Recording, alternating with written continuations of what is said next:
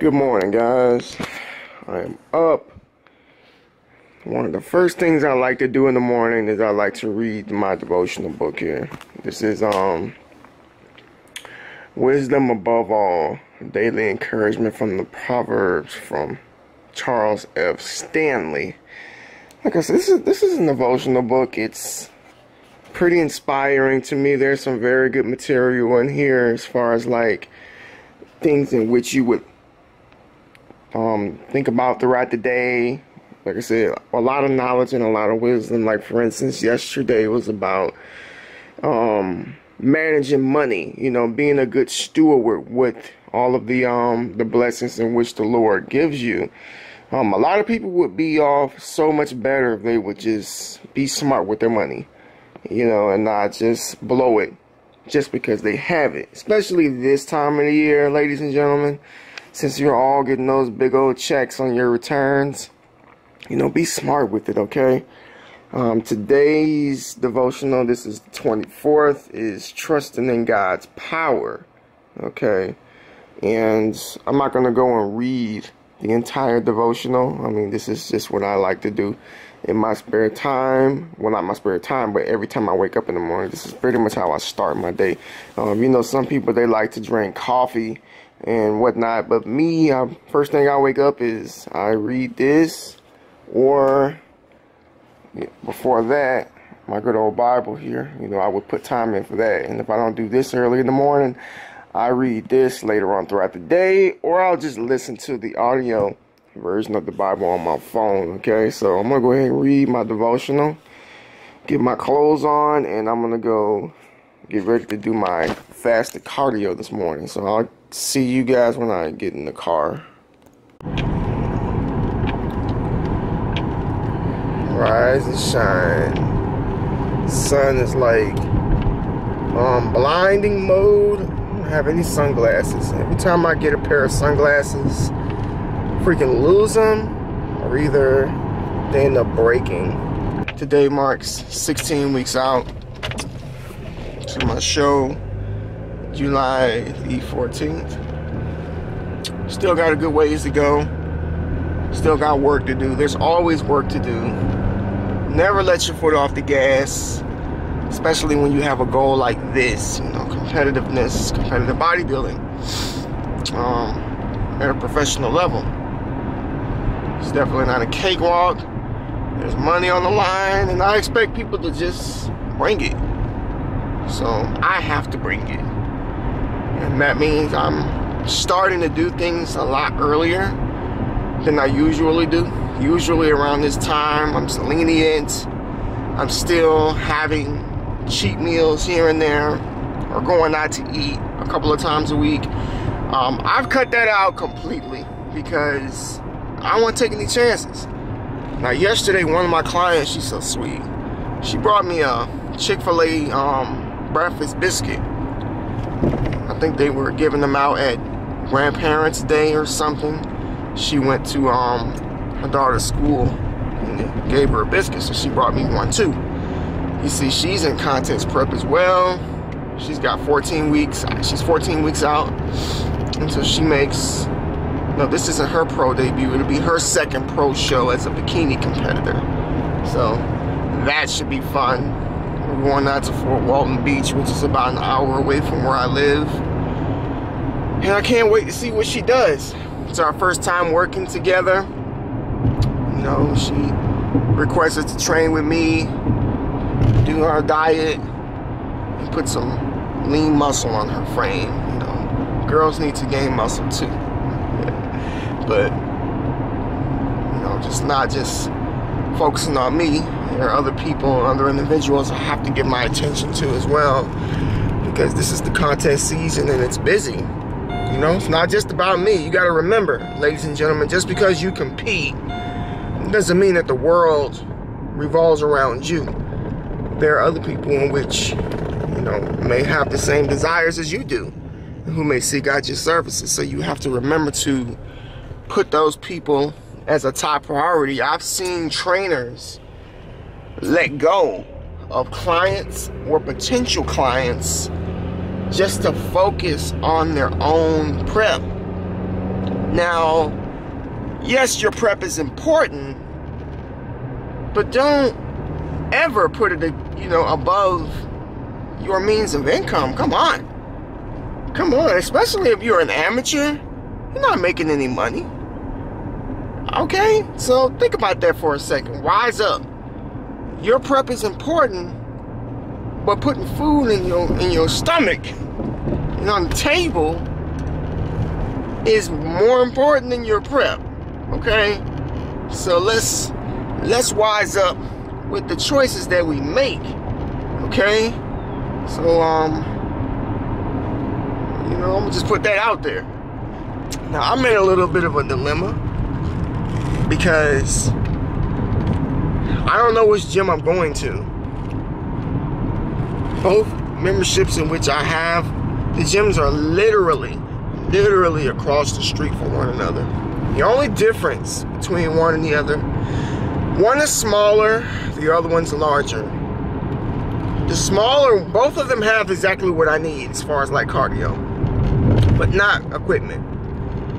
Like, um, you know, for lifting.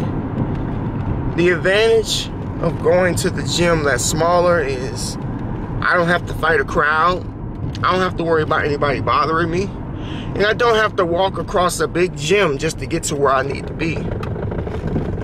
But the flip side is if I go in there and what I want is taken, I have to wait. Versus the bigger gym that has multiple Stairmasters and a whole bunch of treadmills. So I don't know which gym I'm going to. But it's early. So that's a good thing. I know people are lazy on Saturdays. They don't want to get up. So I think I'm gonna go to the big gym just to do that. And um do some people watching. that's always fun too. Now you know usually I record my workouts, but this isn't a workout. And I know everybody doesn't want to watch me do cardio, so I'm not gonna take the camera inside. But I wanted to share a little something with y'all. These headphones here, or earbuds, whatever you want to call them, Bluetooth wireless. They are by Hussar, H-U-S-S-A-R. Hussar, aka Magic Buds.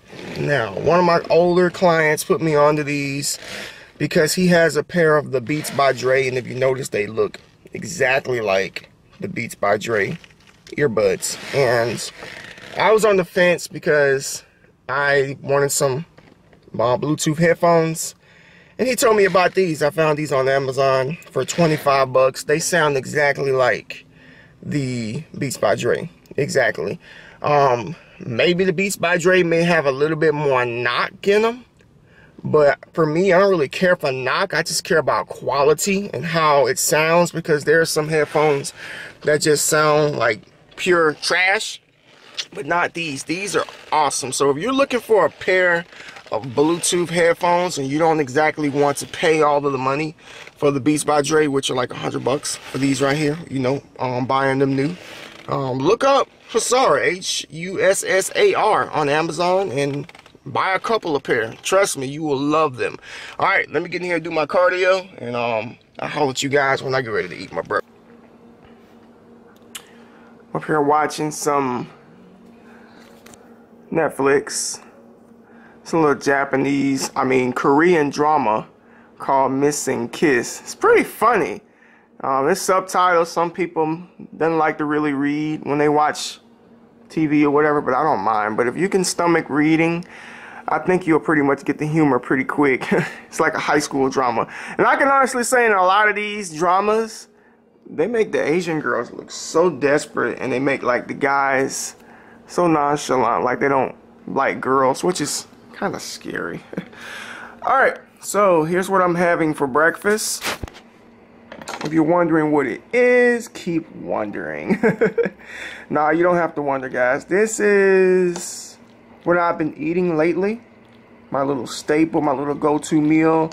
This is a low-carb dish. This is actually um, five, let me show you, five ounces of chicken, 5.6 ounces of chicken, some um, chili, like low-fat chili, and mozzarella cheese with some jalapenos up in there. And I'm gonna complement this with some white cheddar popcorn seasoning. I've been eating this for years when I'm on a diet. You get a lot to, you know, really get this, the um, taste.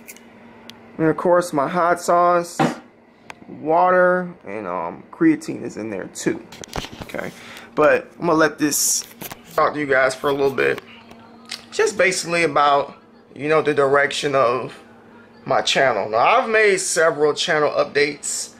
Um, in the past, you know, because when you create a YouTube channel, guys, a lot of times it's not going to stay the same in which it originally was created. You may have one idea that you want to do, you may have another idea that you want to do. It's just constantly evolving. And I always feel like you should make your channel to where it's going to get the most attention while at the same time still enjoying what it is you like to do. Okay, I'm in the middle of, like I said, not changing exactly where I am right now, but putting out more content that I feel like is going to get more attention. Okay, like mm, one, the, one of the last videos that I made, the Kevin Levrone versus um the, the 2018 versus the 1998 that video got so many views in such a short period of time and it really it really woke me up. And even one person commented and said you know man if you keep making content like this your channel is gonna blow up. So I, I thought about it I'm like you know what? I can actually make content like that but still keep it interesting and still continuously do what I want to do in the process. So that's what I'm gonna do. Um FYI, just in case it happens and you don't know about it, I'm thinking about changing the name of the channel. Um, I've changed the name of this channel so many times. I'm so sorry, guys. But I, I'm, I was always taught that if you're going to do something, you know, it's wise to, on all your social media platforms, make all of the names the same. Like, your Instagram should be the same as your YouTube. Your YouTube should be the same as your Twitter. I'm about to start utilizing Twitch. I talked with somebody a couple of days ago about that. Um, I'm about to join this community called Positively Gamers. Um, it's all about streaming, all about gaming.